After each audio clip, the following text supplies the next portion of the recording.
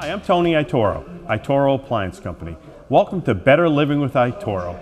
Today we're going to be talking about the newest kitchen designs with cabinetry and appliances.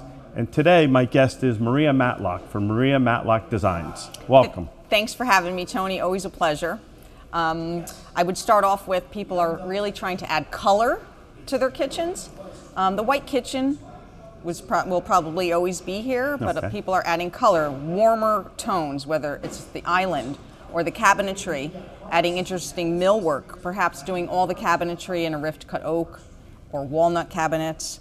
Um, sometimes with the white oak, we could stain it various ways to manipulate the grain, which people really seem to like. So people are using white and wood finishes in the same kitchen. Sometimes in the same kitchen. Okay. So maybe this wall, which would be the range wall, could be in an oak, a rift cut oak, or a walnut, and the rest could be in white. Okay. Or people are adding, you know, a, a bold color for their island.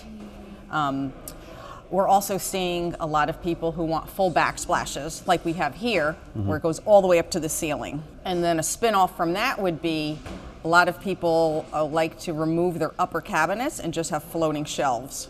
Okay. And like again, over here. Okay. like here. And then Yeah. again, the visual interest with the backsplash really pops. Really pops. It does. It's really open feeling too. I Very like open Yeah. feeling. Yeah, yeah. Um, and with this open feeling, um, people want to try to remove all their small appliances, get rid of the clutter. Yeah. So walk-in pantries have been really um, a must in some of my new kitchen designs. Okay. They want a place to put the coffee maker and the bread machine and the Cuisinart.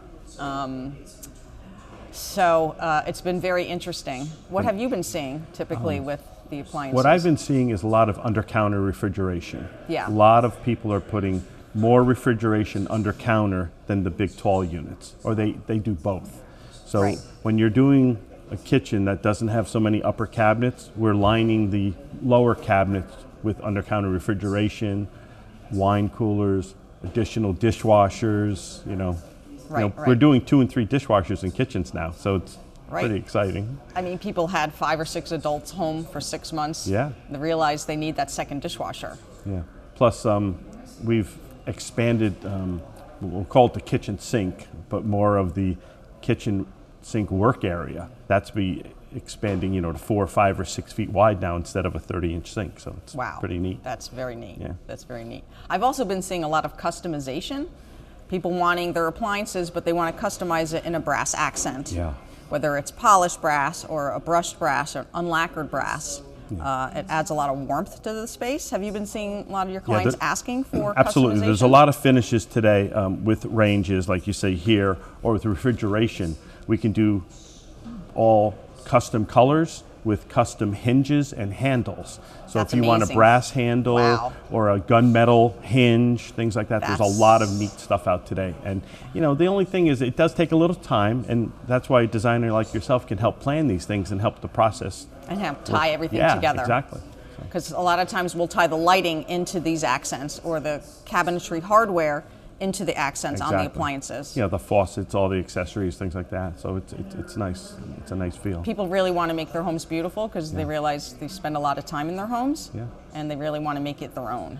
Thanks, Maria. What do you think is one more trend that your clients are looking for? Uh, I think people are looking for a healthy way to cook their food, so I've been uh, specifying a lot of steam ovens All right. because it offers an oven but a different way to prepare your food, and they're extremely quick. Like I'm sure you've seen Oh, with yeah. some of your appliances here, the steam ovens. Which one do you like? Yeah, we use a lot of the Wolf steam oven, the Gaggenau, the Bosch. Um, Monogram has some great speed ovens and things like that. So that's where people are going to. You Speed know, and steam. Speed and steam. You know, healthier, quicker, and uh, just another way of cooking.